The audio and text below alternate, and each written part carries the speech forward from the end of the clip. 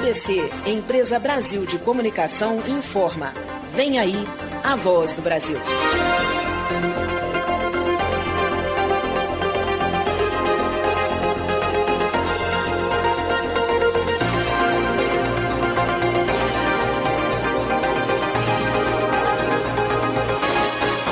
Sete da noite em Brasília, no horário brasileiro de verão.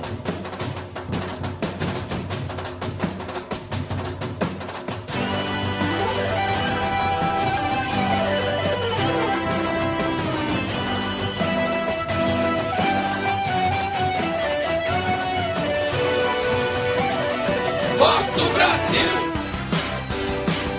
Quase 5 milhões e 800 mil estudantes devem fazer as provas do Exame Nacional do Ensino Médio neste fim de semana. E mais segurança no Enem. Lacres eletrônicos vão ser testados em malotes de provas para acompanhar os horários de abertura e fechamento dos pacotes. 106 centros odontológicos vão ser credenciados em todo o país para atendimento especializado a pessoas com deficiência. Quinta-feira, 1 de novembro de 2012. Está no ar a sua voz. A nossa voz. A voz do Brasil.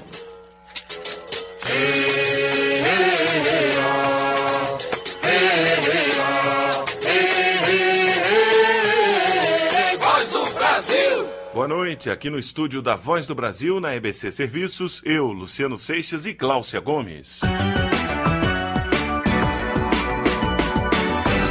Boa noite, estamos também ao vivo em vídeo pela internet. Acesse agora em www.ebcserviços, sem o cedilha.ebc.com.br barra A Voz do Brasil. Voz do Brasil! Estudantes de ensino médio de mais de 1.600 municípios vão fazer as provas do Exame Nacional do Ensino Médio, Enem, neste fim de semana. O exame é usado por universidades e faculdades de todo o país, substituindo o, ou funcionando como uma das etapas de avaliação do vestibular. E a repórter Mária Kenup visitou uma das escolas de Brasília para conferir a preparação dos estudantes às vésperas da prova. 5 milhões e 700 mil inscritos no Enem vão lotar 140 mil salas de aula em todo o país neste fim de semana.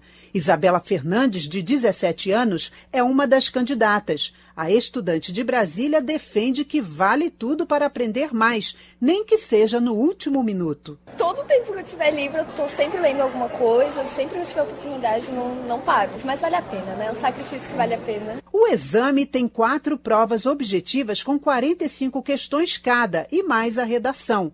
No sábado, primeiro dia, vão ser aplicadas as provas de ciências humanas e ciências da natureza. O tempo é de quatro horas e meia.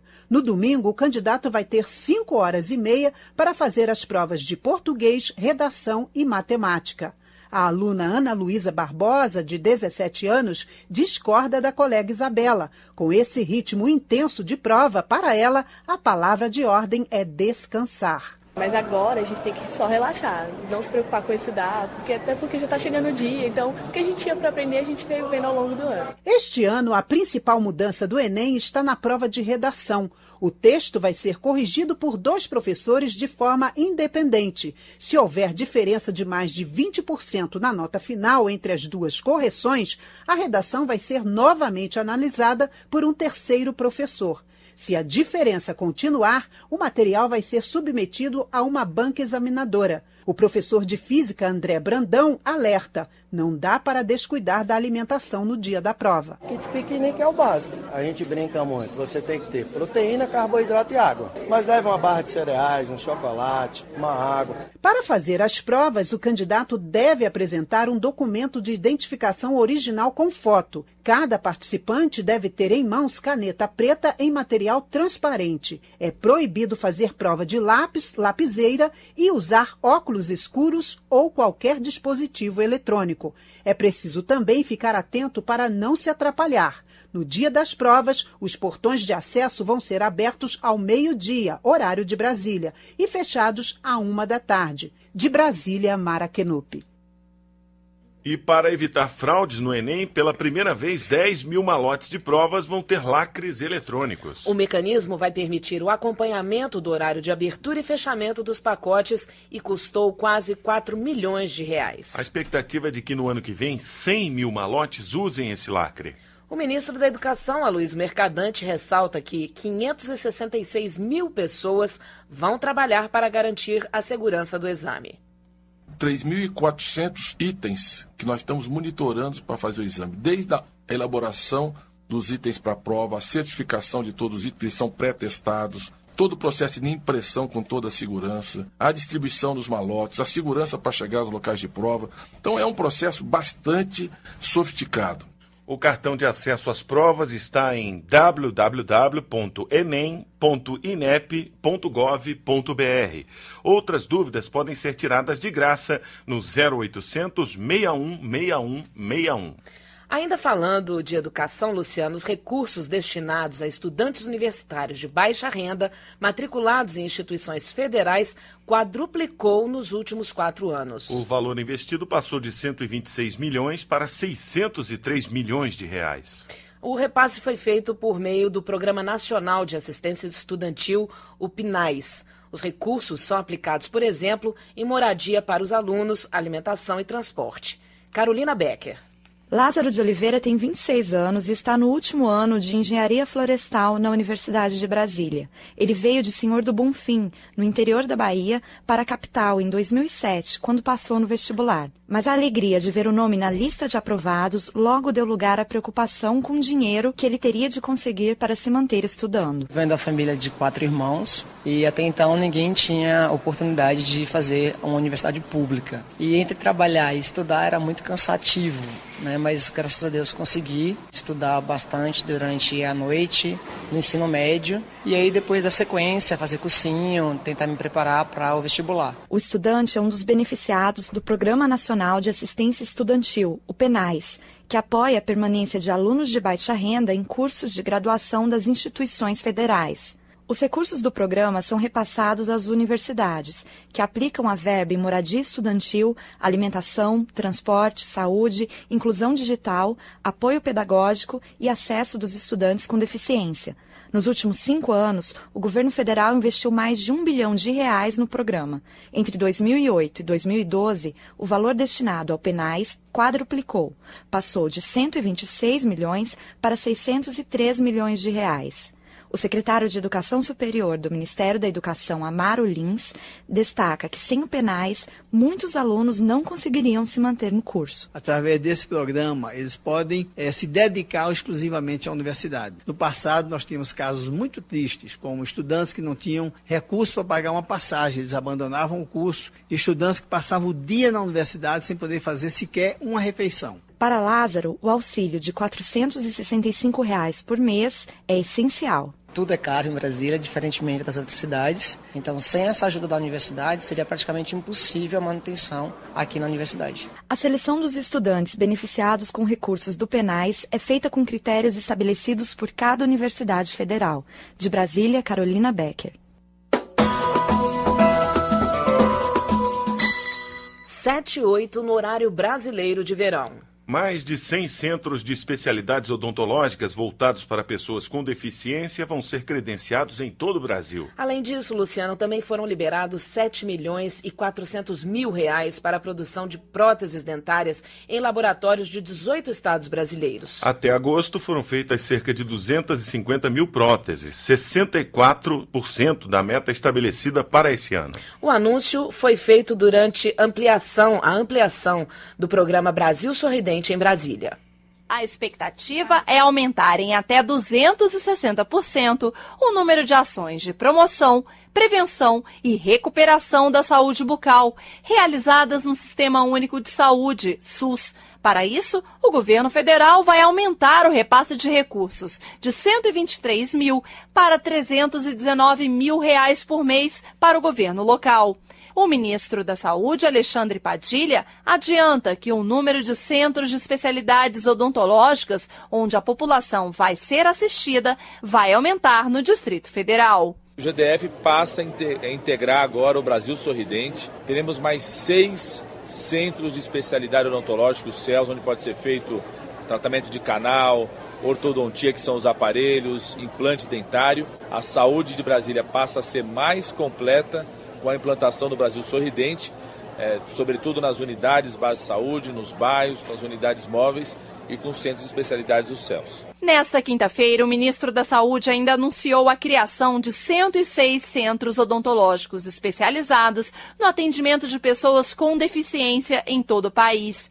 A iniciativa faz parte do plano Viver Sem Limite, também do governo federal. Às vezes, uma criança, um adolescente, um adulto que tem deficiência mental, deficiência intelectual, alguns tipos de deficiência física, visual e auditiva, ele precisa de um tratamento especializado, a equipe mais preparada para cuidar, às vezes precisa de anestesia para o procedimento, e o Ministério da Saúde está especializando, qualificando os centros de especialidade para cuidar de pessoas com deficiência. E para atender as comunidades mais afastadas do Distrito Federal, que enfrentam dificuldade de acesso ao serviço odontológico, foi entregue também uma unidade odontológica móvel, que vai funcionar como consultório itinerante. Para mais informações sobre o programa Brasil Sorridente, acesse o site www.saude.gov.br. De Brasília, Daniela Almeida. Voz do Brasil! A vitamina A, desde o mês de agosto, está sendo dada às crianças entre seis meses e cinco anos incompletos em municípios incluídos no Plano Brasil Sem Miséria. A ação começou a ser desenvolvida na região Nordeste e parte da região Norte. E a novidade é a que é que a suplementação da vitamina A vai ser ampliada também para municípios do Centro-Oeste, Sul e Sudeste. Na unidade de saúde de Girassol, no município de Cocalzinho de Goiás, oito funcionários foram treinados para implantar o programa de suplementação de vitamina A do Ministério da Saúde. São eles que distribuem as doses para as crianças com idade entre seis meses e cinco anos incompletos. São gotinhas que ajudam a prevenir doenças. É o que explica a enfermeira do programa Saúde da Família, Alessandra Fleury. A vitamina A é muito importante para o crescimento e desenvolvimento da criança. Sem essa vitamina A, a deficiência pode prejudicar os olhos, que é a visão, que se chama cegueira noturna é, infecções repetitivas como diarreia. Então nós precisamos desse complemento dessa vitamina A. Todas as crianças têm que ser suplementadas para não causar esses problemas. A distribuição de vitamina A faz parte do programa Brasil Carinhoso e começou a ser feita pelos municípios do Nordeste. Agora vai ser ampliada para o Centro-Oeste, Sul e Sudeste do país. Segundo a coordenadora de Alimentação e Nutrição do Ministério da Saúde, Patrícia Jaime, os profissionais de saúde já estão sendo treinados para que o programa chegue a essas regiões até o final do ano. O programa será expandido de 2.052 municípios para 3.034 municípios brasileiros. Isso significa atender aproximadamente 7,8 milhões de crianças na faixa etária de 6 meses a 59 meses. As crianças elas serão atendidas nas unidades básicas básicas de saúde, tanto nas campanhas de vacinação como na rotina do atendimento na UBS. Para receber a vitamina A é simples. Basta levar a criança a uma unidade básica de saúde e pedir a suplementação. Foi o que fez a dona de casa, Eliane da Silva Correia, de Cocalzinho de Goiás. Ela levou os dois filhos, Rafael, que tem quatro anos, e Vitor, de dois, para tomar as gotinhas. É importante pela saúde deles, né? Eles são uns anjinhos, né? são tudo para mim, tem que proteger. Em todo o país, 2 milhões e 600 mil crianças já receberam a dose de vitamina A. Com a colaboração de Mara Kenup, de Brasília, Thaisa Dias. O Bolsa Família completou nove anos no mês de outubro. E o número de famílias pobres ou em situação de extrema pobreza atendidas pelo programa aumentou cerca de cinco vezes. Passou de 3 milhões e 600 mil famílias para mais de 13 milhões. O balanço foi feito pela ministra do Desenvolvimento Social e Combate à Fome, Tereza Campelo, hoje, no programa Bom Dia Ministro. Os adultos do Bolsa Família trabalham a grande maioria trabalha e o emprego no Brasil cresceu exatamente nas regiões onde a gente tem mais Bolsa Família. Então, as pequenas cidades onde a gente tem mais Bolsa Família no Nordeste, em meio à população pobre, são exatamente as cidades onde mais se gerou emprego e com isso a gente consegue mostrar que o Bolsa Família não só não gerou efeito preguiça, como ele gerou um outro efeito ótimo para o país, que é ajudou na dinâmica nessas regiões que eram regiões pobres, à medida que a população tem dinheiro, esse dinheiro é injetado direto na economia, ele não fica viajando na mão de vários gestores, né, para o governador, para o governo do estado, para a prefeitura, ele vai direto na conta da pessoa e a pessoa com esse dinheiro compra comida, compra remédio, compra roupa e ajuda a desenvolver a economia ali na sua região. Cláudia, você já pensou em poder planejar uma viagem toda pela internet, programando passeios, restaurantes, visitas a pontos turísticos? É exatamente isso que um aplicativo lançado pela Embratur faz. Com ele, o turista pode programar toda a sua viagem antes de sair de casa. Ricardo Carandina. O Trip Planner é uma ferramenta virtual. Com ele, quem faz viagens no Brasil pode escolher hotéis e restaurantes antes de sair de casa Pode ainda conhecer atrações turísticas para planejar os passeios que vai fazer. O viajante informa onde está e para onde quer ir e vê as avaliações feitas por outros turistas sobre os lugares.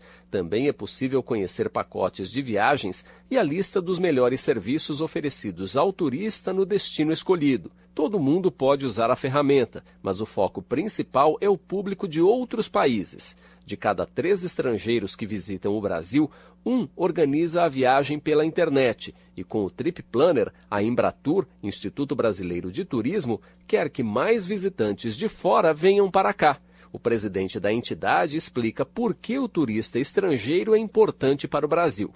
Hoje, esse segmento de turismo online movimentar mais de 300 bilhões de dólares por ano.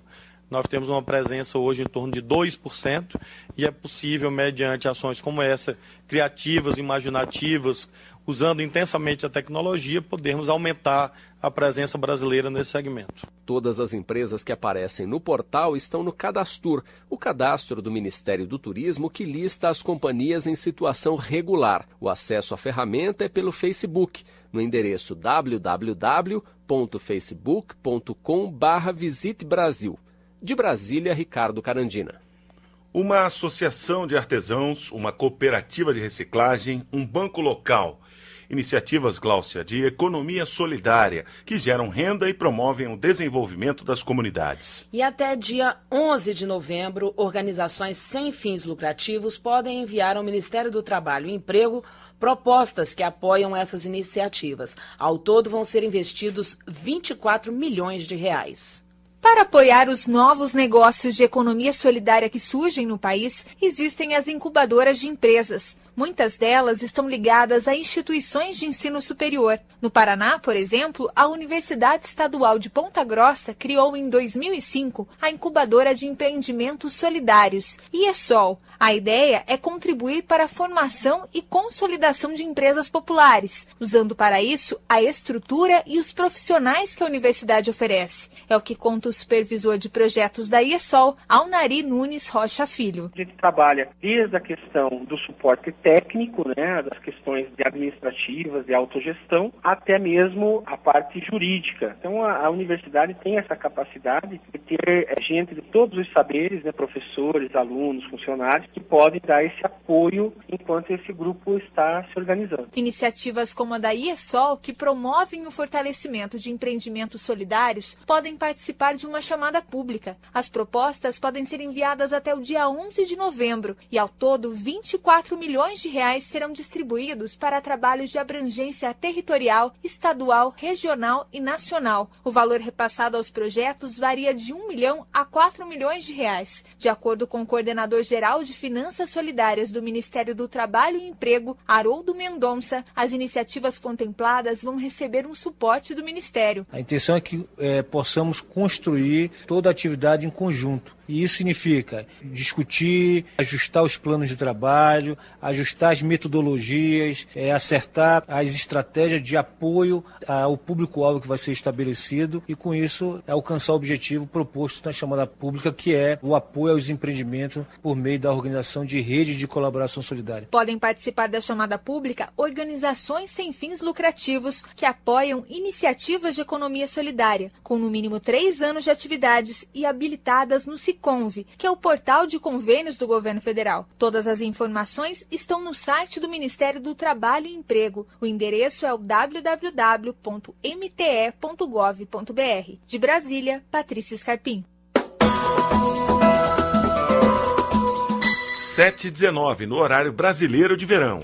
O governo federal ofereceu ajuda ao estado de São Paulo para combater os problemas de segurança pública que o estado vem enfrentando nos últimos dias. De acordo com a Secretaria de Comunicação da Presidência da República, a presidenta Dilma Rousseff ligou para o governador Geraldo Alckmin hoje à tarde e disse que o governo federal está à disposição para ajudar no combate à violência em São Paulo. Uma reunião para discutir o assunto está marcada para a semana que vem. Estados e municípios interessados em receber recursos para incentivar a igualdade racial têm até dezembro para enviar projetos para a Secretaria de Políticas de Promoção da Igualdade Racial, CEPIR. A meta é adaptar as políticas de enfrentamento ao preconceito e à discriminação racial à realidade de cada brasileiro, ou melhor, de cada estado brasileiro. Mais detalhes na entrevista feita pela jornalista Ana Gabriela Sales com o assessor especial da Secretaria de Políticas de Promoção da Igualdade Racial, Marcos William Freitas. Qual o objetivo da CEPIR com o financiamento desses projetos? Dá início ao processo de implementação do Sistema Nacional de Promoção da Igualdade Racial. Esse sistema foi instituído pelo Estatuto da Igualdade Racial, é um sistema que nós estamos hoje fazendo a construção dele, é, participando do processo de regulamentação, né, criando a regulamentação do sistema, e essa etapa de contemplar estados com parcerias é uma etapa inicial desse sistema. E quem pode participar? Que tipo de projeto pode ser contemplado? Nessa etapa, que é a segunda etapa, é uma segunda videoconferência, todos os estados podem participar e também municípios que abriguem mais de 500 mil habitantes. Como nós tivemos uma primeira etapa que contemplou 11 estados, então agora nós esperamos dar maior prioridade aos estados que não foram contemplados na primeira etapa, mas na verdade todos poderão participar. Agora, que tipo de ação deve estar prevista nesses projetos? Na videoconferência que foi realizada pela CEPIR com todos esses estados, foi apresentado um rol de algumas ações consideradas prioritárias pela CEPIR. Exemplo, estruturação dos órgãos de promoção da igualdade racial em âmbito local, estadual e municipal, realização de conferências estaduais e municipais, apoio a iniciativas da sociedade civil que os estados queiram fazer. Então, esses são é, alguns exemplos que a CEPIR considera prioritário para implementar o sistema. E quanto de recurso a CEPIR já destinou para esses 11 projetos contemplados? Esses 11 projetos que foram contemplados no início do ano, a CEPIR já destinou um, cerca de 4 milhões de reais, 3 milhões e 800 e pouco, e agora nós temos também mais recursos, tanto em 2020 2013 quanto em 2014, porque são convênios muitas vezes plurianuais. Ouvimos a entrevista do assessor especial da Secretaria de Políticas de Promoção da Igualdade Racial, Marcos William Freitas. Voz do Brasil! 25 técnicos da FUNAI vão ser capacitados para difundir entre os índios programas da Companhia Nacional de Abastecimento, a CONAB. Entre eles está o Programa de Aquisição de Alimentos, o PAA. A gerente de produtos da Sociobiodiversidade da CONAB, Ianelli Loureiro, explica como a produção de alimentos feita pelos índios pode beneficiar a comunidade. O excedente da produção, os indígenas entregam para creches, asilos. Então, eles podem, os indígenas, entregar a, a, esse excedente de produção na própria escola indígena da aldeia. E o governo paga por esse processo. No ano passado, cerca de 750 famílias indígenas participaram do PAA.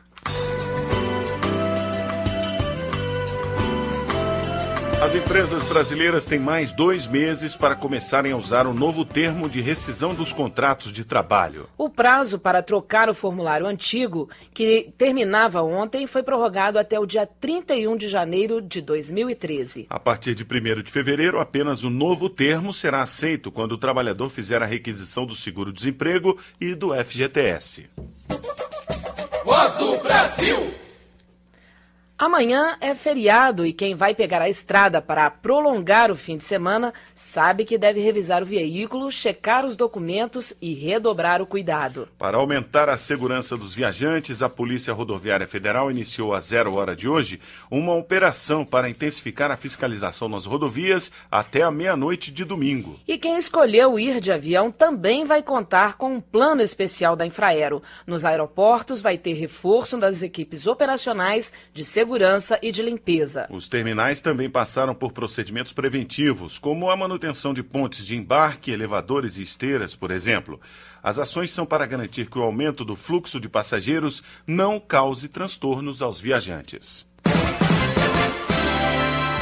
Você ouviu hoje na Voz do Brasil. Quase 5 milhões e 800 mil estudantes devem fazer as provas do Exame Nacional do Ensino Médio neste fim de semana. E mais segurança no Enem. Lacres eletrônicos vão ser testados em malotes de provas para acompanhar os horários de abertura e fechamento dos pacotes. 106 centros odontológicos vão ser credenciados em todo o país para o atendimento especializado a pessoas com deficiência. Este foi o noticiário do Poder Executivo, uma produção da equipe de jornalismo da EBC Serviços. Siga a Voz do Brasil no Twitter, twitter.com/barra Voz do Brasil. Como amanhã é feriado de finados, voltamos na segunda-feira. Boa noite. Fique com as notícias do Poder Judiciário e do Congresso Nacional. Boa noite e até segunda.